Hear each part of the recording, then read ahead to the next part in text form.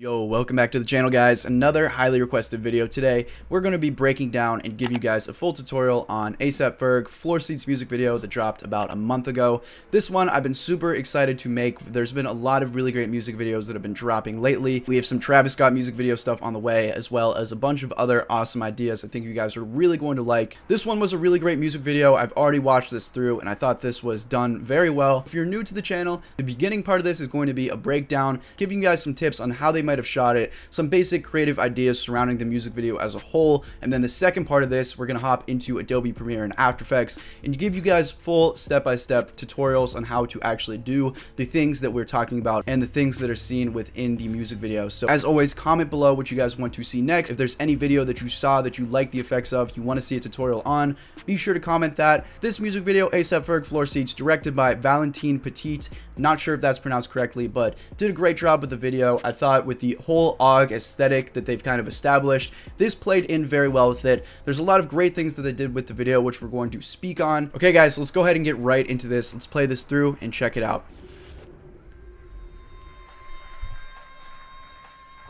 So here is our intro scene and there's a lot going on here, some inspirations that stick out to me right away. So first things first, the way they shot this, this intro scene is very reminiscent of that Kids Turned Out Fine music video um, for ASAP Rocky, directed by Dexter Navy. You can check out the video I made below if you're interested about that. This intro itself, this is something that'll be easier to actually show you than explain to you. So when we get to the step-by-step -step tutorial part and we're actually showing you the different plugins that you can use to create this distortion, they use a simple little zoom effect, which you'll see see so a nice little lens zoom as you can see the edges are getting distorted. If you're looking for any kind of transitions like that, check out my website below. We have a Speed Demon transition pack, a bunch of awesome things just like that. Link to that will be on my website below. We zoom into the shot of the jar. To actually get this here, what they may have done is taken a piece of what they created here and this essentially could just be a picture or a video of some grass that they actually distorted heavily.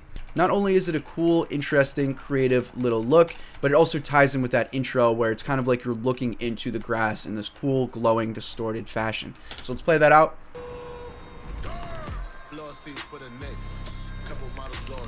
So let's go ahead and break down that sequence that we just saw. And there's a lot going on. So the first effect that stands out for us is we go from this calm, kind of mysterious part at the beginning, and it ramps up just like how the song does. We'll play it out as that intro of the song builds up, we bring in this kind of fast moving footage. And to do that, they're actually just using some tracking and some masking to cut out the grass here. And then what they do is they actually cut out whatever was here. We'll show you that at the later part of the video where we do the step by step. Now, as we move along, you'll see that there's some nice geometric shapes in this that they use to actually crop in. So you'll see this next frame, they pop in using masking. And essentially what this really is, is just a lot of pictures that they took on set. So they have all these extras here here. They probably told them to look at the camera, straight face, and then they probably told them to look at the camera, um, shouting, yelling, whatever, to get these really expression pictures. Now, we're going to hop into Photoshop later, and we'll show you some of the techniques that they use for the film, some of these overlay, some of these paper overlays, um, some of the masking techniques they did to create this. And you'll also notice that every single one of these pictures is only lasting one frame. So I'll click one frame over, bam, bam, bam. So we play that full speed, it's going to be super fast just like that. Now they're also mixing together the pictures just using masking, using cropping, um, which is a pretty cool technique in itself. Now this may have been inspired by a member of AWGE, which is the ASAP Mob's creative production group. They also do a lot of other stuff on the side, but either way, there's a member of AWGE named Hidji who's been involved with a lot of the music video and a lot of the visual things that they do. His personal style mixes these blends of different body parts, different facial features to create this cool abstract artwork. So that's pretty interesting. I'm not sure if Hidji himself was a part of this this music video creatively or production wise, but that definitely could have been inspired by him. So let's go ahead and play out this next sequence and check it out.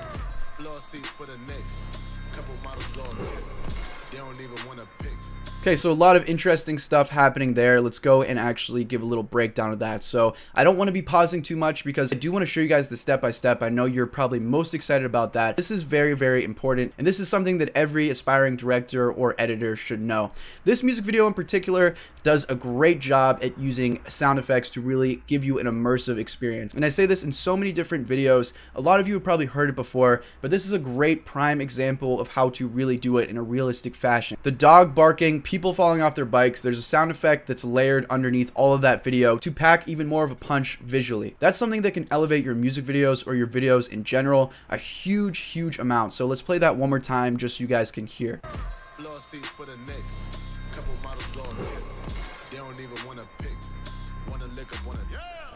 So you have the dog barking, you have people falling off their bikes, you have the sound of the bikes in general. You have whenever they use those paper overlays, you have that kind of rummaging through paper sound effect. You have the sound effect of these pigeons. Everything you see in the video has a matching sound effect to really tie the entire experience together. So before we talk about that crazy 360 that we got going on here, I want to talk about all these little B-roll shots because these look pretty um, distinct and different from a lot of what you guys may be used to seeing. Now, if you want to create this look yourself, you can do it with in-camera when you do shoot it.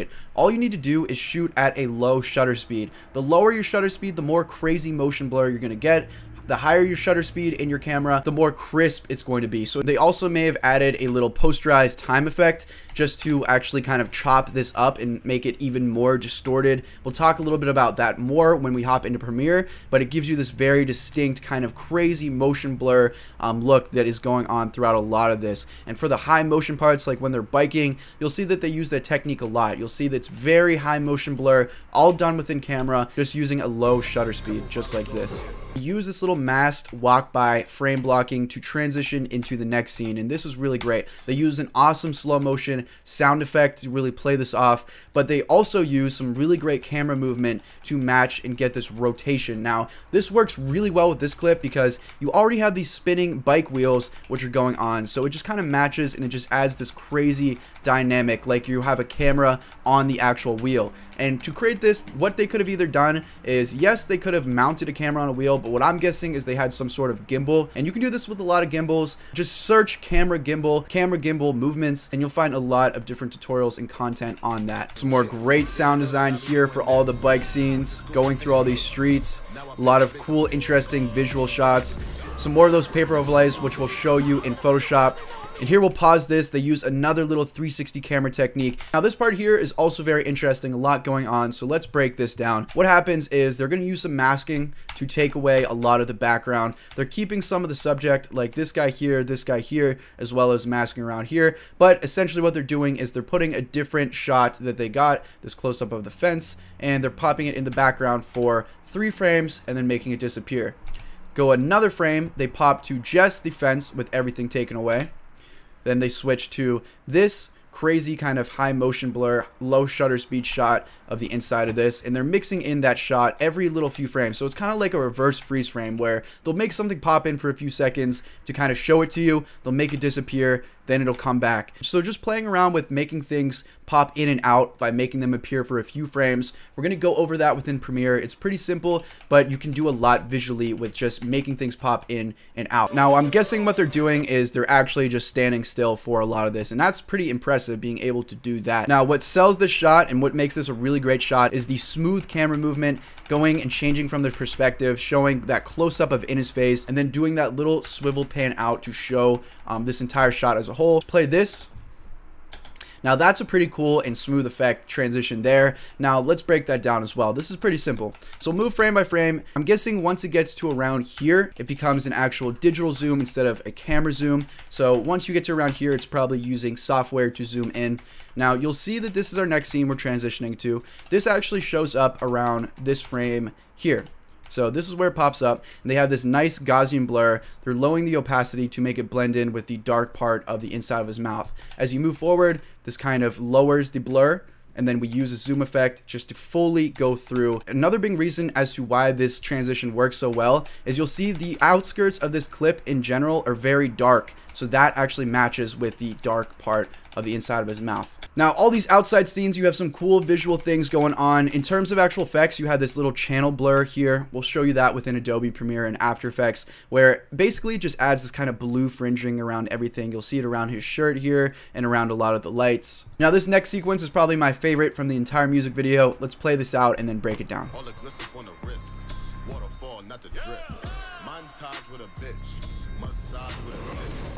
So some really cool stuff going on there. And this effect in itself is from the ASAP Forever music video. It's pretty cool. Um, the only difference being is that they're not doing a lot of tracking onto an object, but it still has that same principle of the effect from ASAP Forever, where you're going from one scene, zooming out to another scene, zooming out from another scene, and the previous scene is a part of the next scene. That may sound complicated, but like I said, we'll hop into post later, show you exactly what we're talking about. But basically, we zoom out to the scene where they masked out her eye, move out more, cool part about this clip here is that this actually isn't using any masking, but they created the same sort of like moving through an object by zooming through her hand like that. So that was a cool creative idea. And that's why I think this is probably my favorite part. And then of course, what they do, another mask inside the actual mouth closing it in with that super sick sound effect of that clamping down. So that was by far my favorite part. I thought that was pretty cool. We're going to show you that transition later, talk about where to get the sound effects all that good stuff. Let's keep going through here because there's still more we should talk about.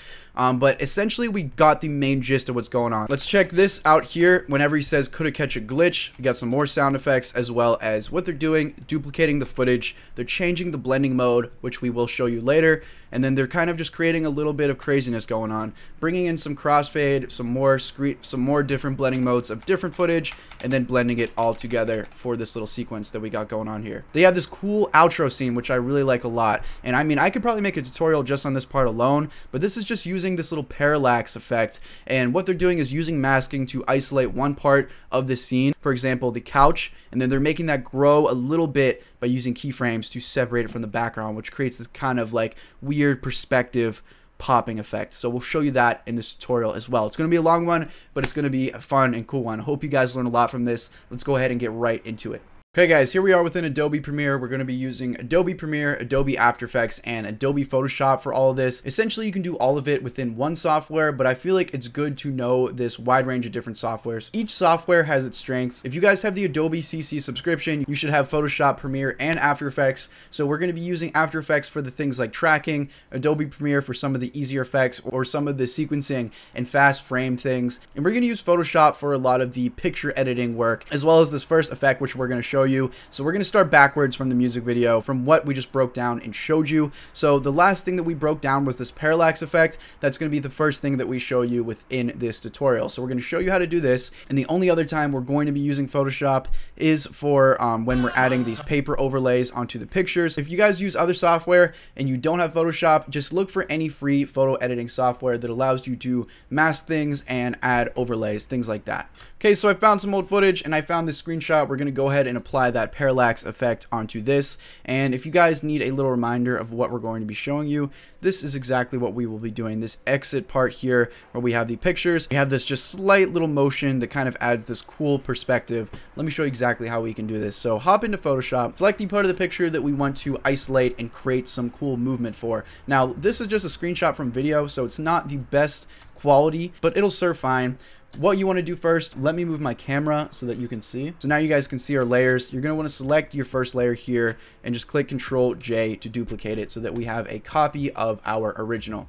Select your first layer here, go over and grab your pen tool or you can just click P on your on your keyboard here. You're going to hold down Control and Alt use your mouse wheel just to zoom in and we're going to do a little rough mask around our subject.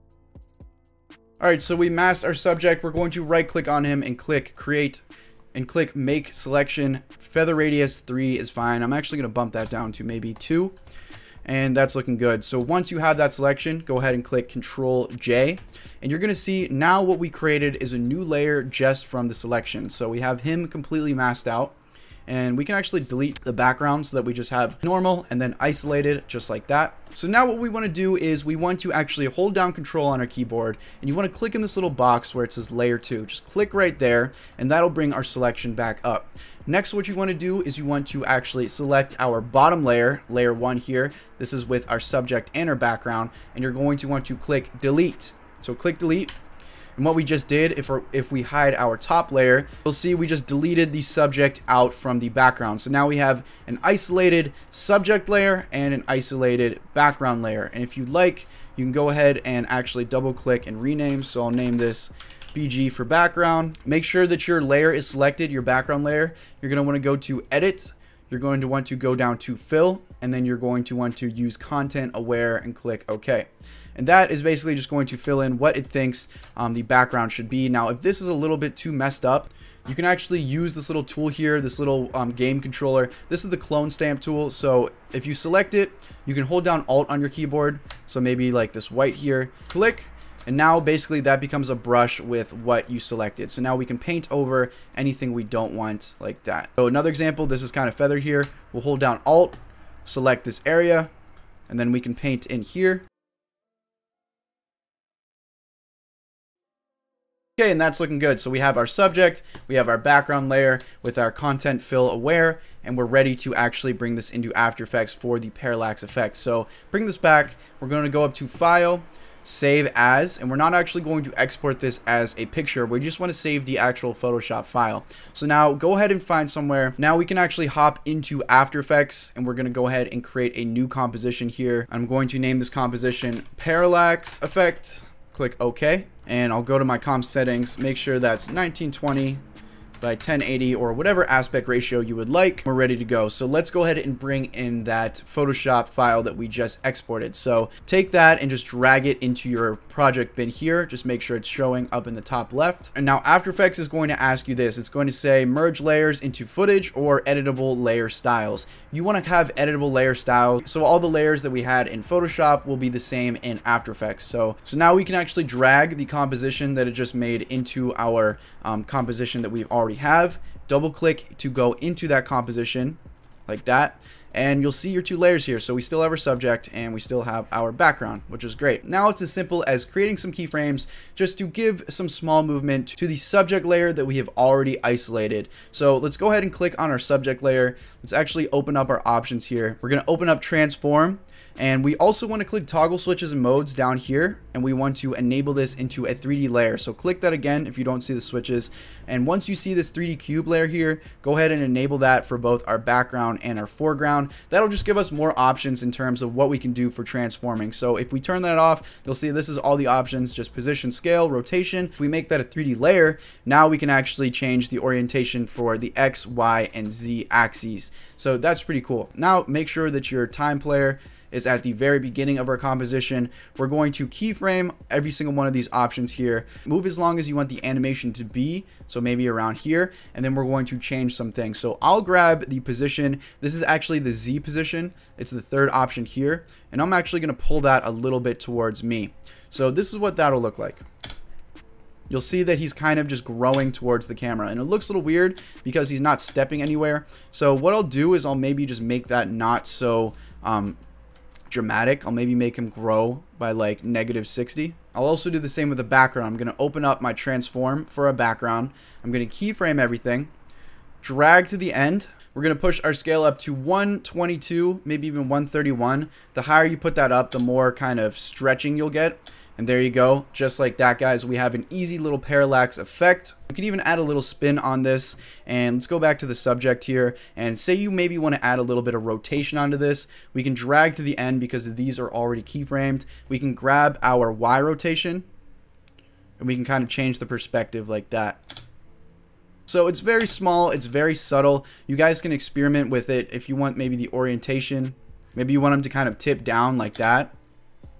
You'll have something more like this. My best recommendations for creating something like this is don't overdo the movement or it'll look a little bit too um, oversaturated artificial. If you just add a tiny bit of movement, you'll get that kind of subtle parallax. And there you go, guys. That is my final product with the actual parallax. You can do a lot of cool stuff with that in terms of kind of bending that perspective. Of course, it depends on your picture. Try it with a bunch of different examples. Maybe try and mess around with different orientations or things like that. And you guys will get some really cool looks just like from that ASAP ASAP Ferg video. On to the next tip. Okay, guys, the thing we talked about before the parallax effect is this glitch effect here. Let's show you how to do that, and we're actually going to go a little frame by frame. This is what we're going after here, where we have this kind of distortion going on, and then just, just a bunch of easy little craziness. Let's show you quickly how to do that within Adobe Premiere. So what we're going to do for this effect in particular is I'm going to hold down Alt on my keyboard, and that allows you to actually click hold and drag up to create a duplication just like that. I'm going to skip back to the beginning here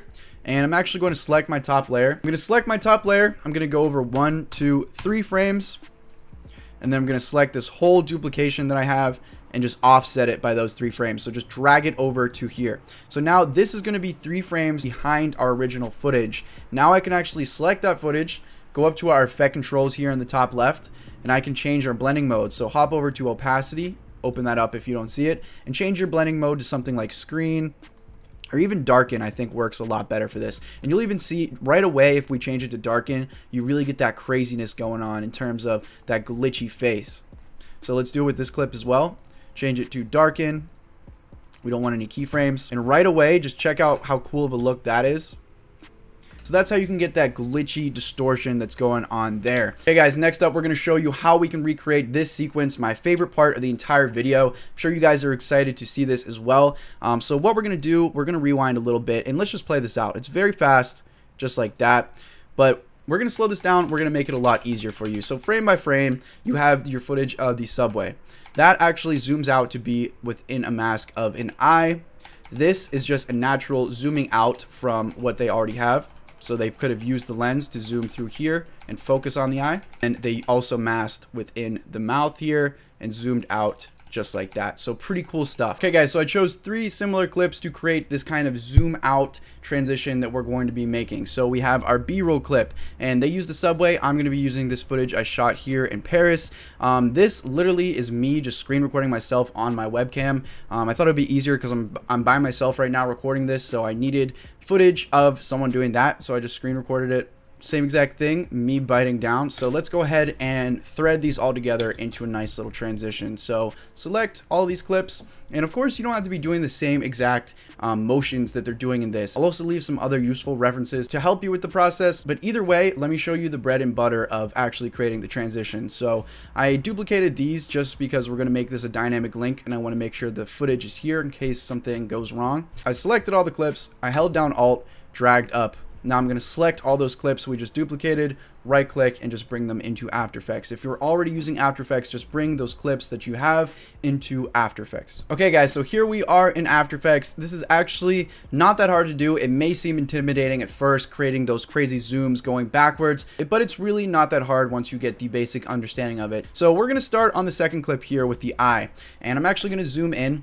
We're to go up and grab our pen tools or click G on your keyboard. And I'm to zoom in here and I'm just to actually mask my eye out. So just draw a simple little mask along your eye. Connect it.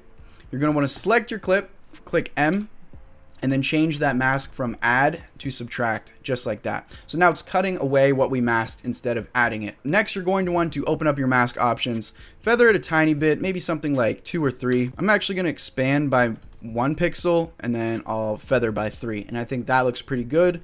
If you want, you can actually grab here, maybe expand the mask, fix however you want. Next, what you want to do is right click on that mask and click track mask. It'll automatically prompt your tracker over here. Just click play and that'll do a pretty easy job of track masking as long as you're tracking something that's simple geometry like an eye. That's a pretty easy shape and the footage isn't too shaky. So here's what we got. Nice track of a nice transparent eye. And if we place footage behind this, you'll see that it'll pop up within the eye, which is what we want. So next what we want to do is we want to grab the footage that we're going to be placing within this eye, which is our our B-roll that we have here. So let's go ahead and just take this clip, drag it over, or you can just drag this on top. So now our footage with our eye is over top our footage with our B-roll, whatever you want to place underneath it to transition into.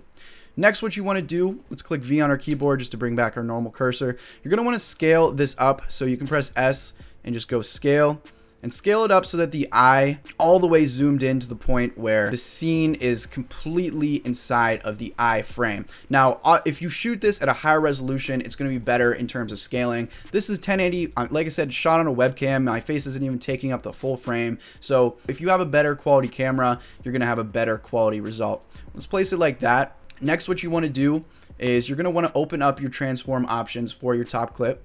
Go ahead and keyframe all those at your beginning position.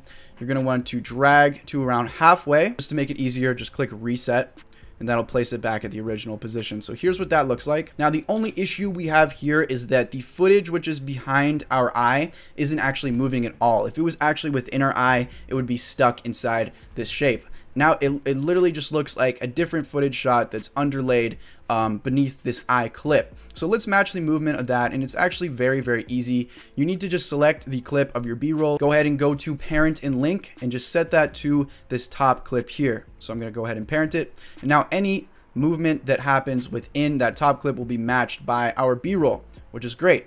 But you'll see that it actually scales it up here to actually match in with this. So there's a few ways we can combat that. First thing that we can do is we can actually just kind of grab the edges of this and scale it so that it fits the eye. Um, and you may need to do it like that. But the only downside to that is that'll completely scale it even more. So, so maybe you are fine with this. This this was shot in 4K, so it doesn't look that bad. But it really is kind of taking away from a lot of what's going on. So the second thing we can do is we can actually scale this down. Let's grab this, try and make it so that we can see a little bit more in this scene in general. And then when it gets to the point where it's in the eye and it starts to show these black edges, we're just going to make some easy keyframes. So open up your actual transform options for your B-roll, and I'm going to rename these so you guys don't get confused. We're going to make some keyframes.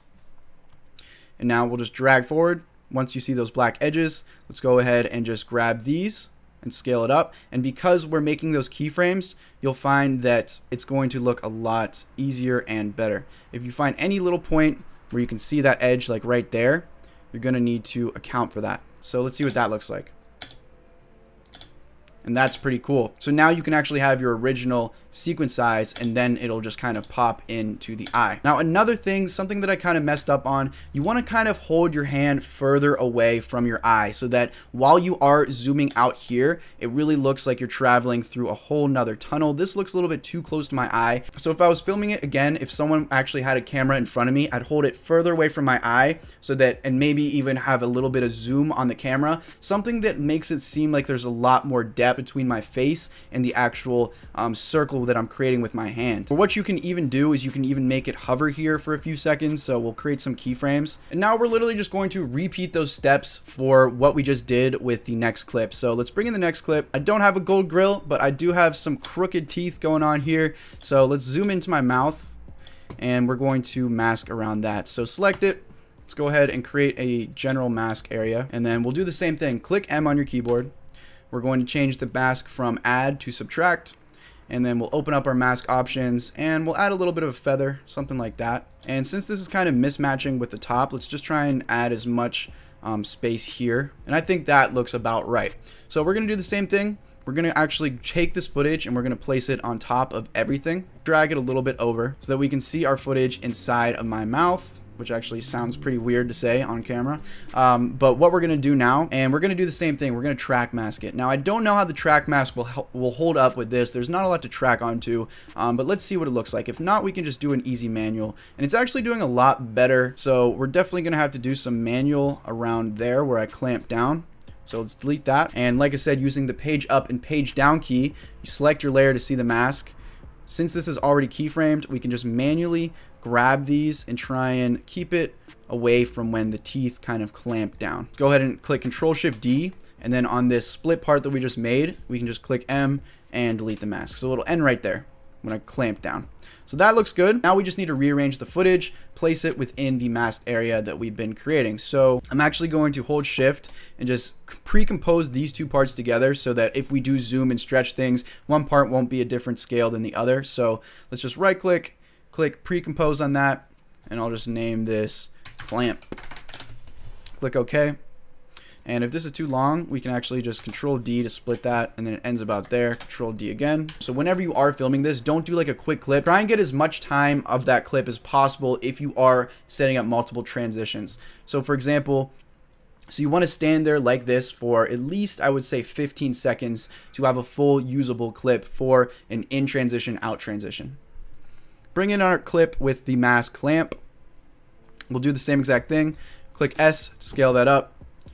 And we're going to go ahead and position this.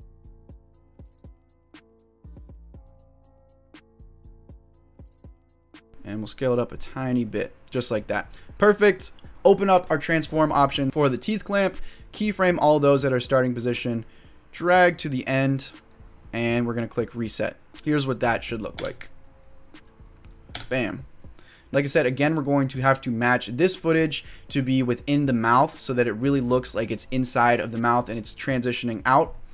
So to do that, like I said, very easy again. You're going to select here where this footage starts because we don't want to change the scaling of everything beforehand, only at this only at this section. Control Shift D. This clip is going to be in the mouth, so we'll rename that in mouth and we'll parent that to clamp just like that. So now as we zoom out, that will be stuck inside of our teeth. And now we just need to scale that up. So let's go ahead and make some keyframes. Open this up, open up your transform, Keyframed is already there, which is good to go. Let's drag a bit.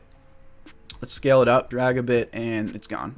So that's perfect. Also, another thing that you want to do, since we're cutting this off and this is parented to a different thing, you'll see that the B-roll in the eye is getting lost behind. So what we need to do is Control Shift D on our B-roll at the beginning that was supposed to be in the eye, and then parent this to the in-mouth clip that we have here so that that will still stay tracked. And I ended the track around there, so what I'm going to do is just make this fade out around there. So open it up, open up your transform. Let's click our opacity to the last we can get it. So like right here,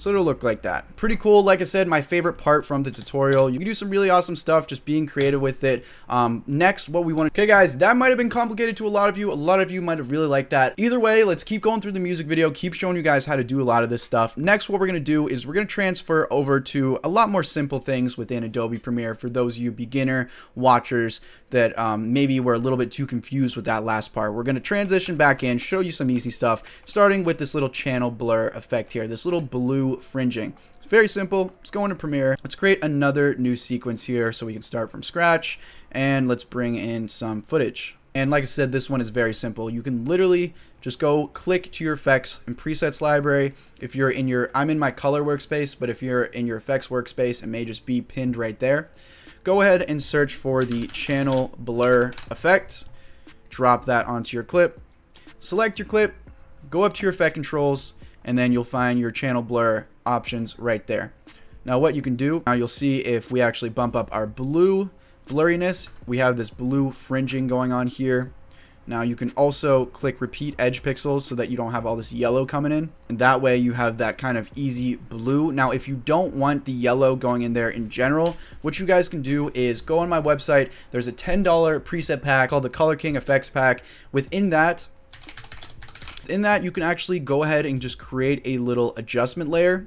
And we have a bunch of little preset channel blur looks for you guys if you are interested. So check out the Color King. I think there's some bundle packs which are cool. And these are literally just a bunch of different combinations and looks. Some of them are actually animated, so they'll cycle through different colors. And there's a lot of cool stuff you can do with those regards. Next, we want to show you these little pop in and out parts here. So this is very simple. Just using some simple little masking in Adobe Premiere, we can do this. Uh, what they're doing is, like I said, grabbing a few subjects, going over here, making something pop in, and then switching it around, zooming through. Okay guys, so back in Adobe Premiere, if you're wondering why my clothes are changed, it's a new day. This has been a long tutorial, so I actually just woke up and we're gonna finish it off. Let's hop into Adobe Premiere and, and we're going to make a little example of what I just showed you, where we're gonna do a little bit of cropping within Premiere pretty easily and just make things pop in and out. So we have our first clip here. I'll make a Control K cut and then we have our second clip which we'll place in the background. Let's select our very first clip. Let's go up to effect controls and then we can actually just grab this little pen tool under opacity. Open that up if you're not seeing that. Select that and we're going to make a little mask around our subject. Click the squiggly key on your keyboard to make that full screen to make the masking a little bit easier and then we'll just try and make a rough mask going around here. And we're going to make it just like how it was in the actual music video where it might pop in for only like one frame.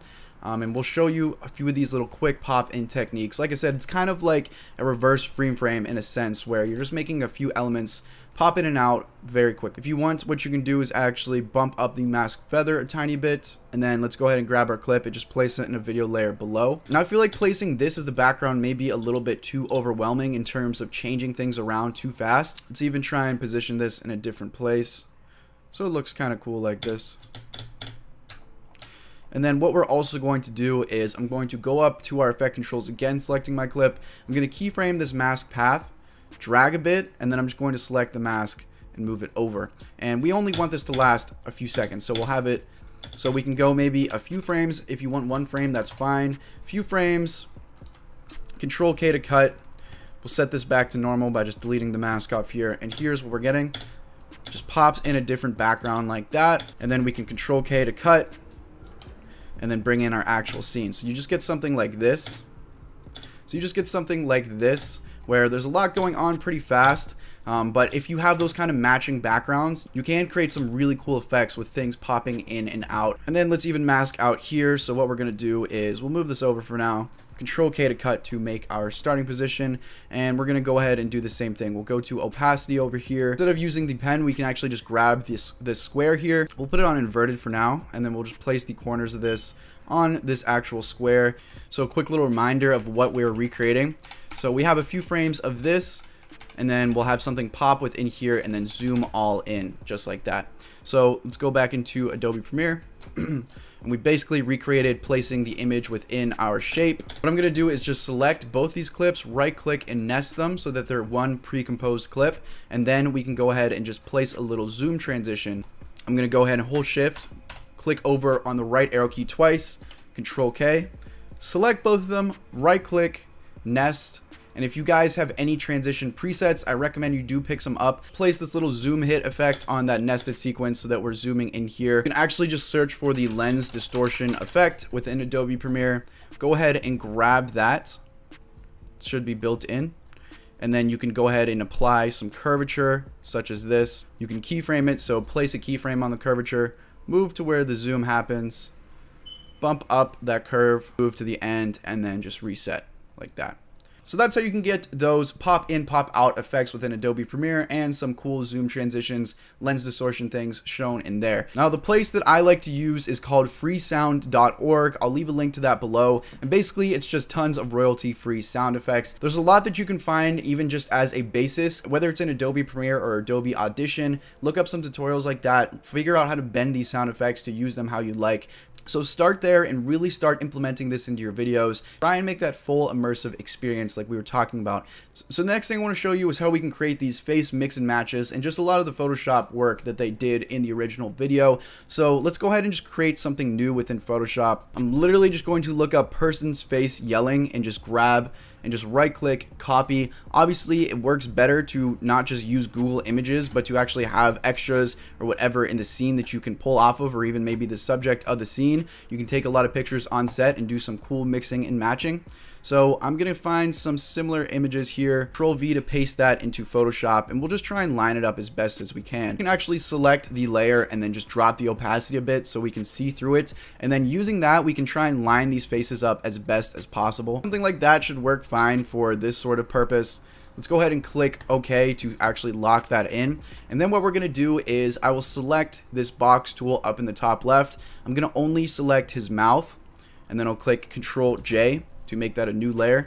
We can hide this full layer of his face here. So now we only have his mouth. Let's select the mouth layer, bump the opacity up to 100%, and then we'll Control T and try and actually mix and match this a tiny bit better. Now, if you want, you can leave it sloppy like this, where it's basically just something overlaid, and this art form is used a lot throughout a lot of different things. I'll throw some examples on the screen here. You can create some cool looking stuff just doing this in general, and it is very easy to do. If you want, you can polish it up, maybe grab the pen tool and try and make this look like it's an actual um, mix and mash.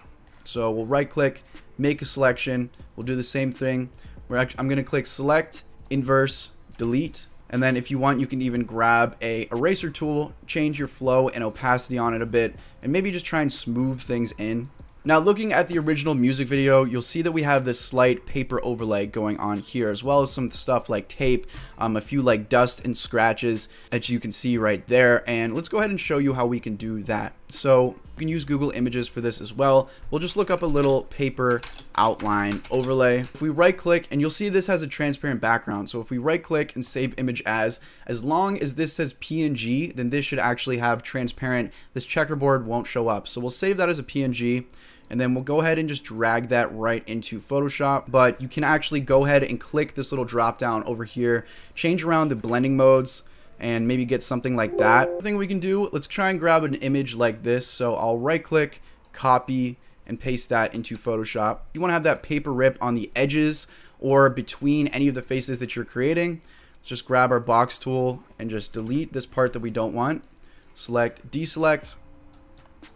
And that's basically it, guys. Another thing you can add in is tape. Just go ahead and search that on Google, just like everything else we've been searching over. And find one you like, right click, copy it, and control V to paste that within Photoshop. If you have this black background here, you can either change the blending modes or you can just grab this little magic selection tool, click, and then delete and then place that wherever you would like on the actual image, like that. Hey guys, so we showed you everything from the crazy zooms, the Photoshop work, the parallax effect. We gave you a lot of information throughout this. The last thing I want to end on, creating this crazy distortion intro. At this point, I'm not going to bring in any footage. You can if you like, but I'm going to start with an After Effects. So in my project bin here, I have to drag this out to see it, but there's a new page item which you can click and then we'll bring in a transparent video and this is just going to serve as a placeholder for everything we do within Adobe After Effects. So right click on that placeholder, that transparent video, and then click replace with After Effects composition. If you guys want, you can just start within After Effects if you only use After Effects. Now within After Effects, once that opens up, you can delete the transparent video and then we'll go ahead and just create something from scratch. So, so I'm actually gonna go and find a little picture of some grass in Google so we'll just look up some forest grass maybe.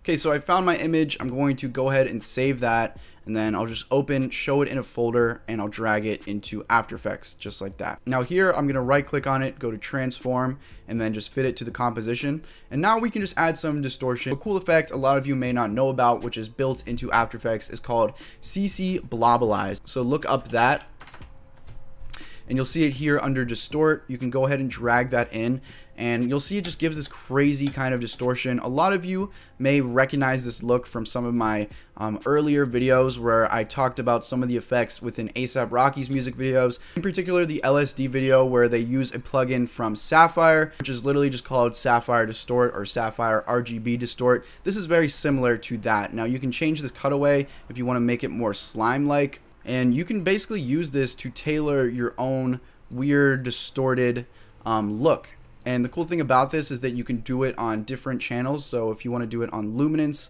you'll have, you'll have different options. You can even choose a specific color like green. So if we actually look at the original, what they made here, what we're going to do is we're going to animate that texture to move around a bit. So let's hop back into After Effects. Sapphire Distort is very similar with what you can do in terms of this crazy distortion here. That is another option, of course, but this is the free version that comes with it. And it's going to always look different depending on the image that you're using to start with. Maybe you could just go with a green gradient and mix together things. I'm not sure how they made it, but I am going to show you the techniques for animating this distortion. So let's go up to where it says our softness and our cutaway. We're going to keyframe the softness and the cutaway at our starting position move a tiny bit, and then we'll just kind of animate it so that things are moving around. It doesn't have to be crazy. But here is what that animation is looking like, which we created. And of course, you can mix and match anything below this if you'd like. It does look very different from what they used, but of course, they could have used any reference image. They could have done a lot with it. Um, a few other things that you may try in terms of some cool distortion techniques is some turbulent displace a turbulent displace effect if you want to add some kind of waviness and swirliness to what's going on. If we change our evolution, you'll see what that looks like there. You can also change the amount and get some more crazy distortion and stretching. Drag around a bit, maybe for six seconds, and we'll add some distortion. And now you'll see you're getting some crazy stretching, um, a cool, interesting background. And of course, if you want to, you can even add a little glow effect. If you need any glow, flicker, preset plugins, all available on my website. I don't want to plug it too much, but it is relevant to what we're speaking of.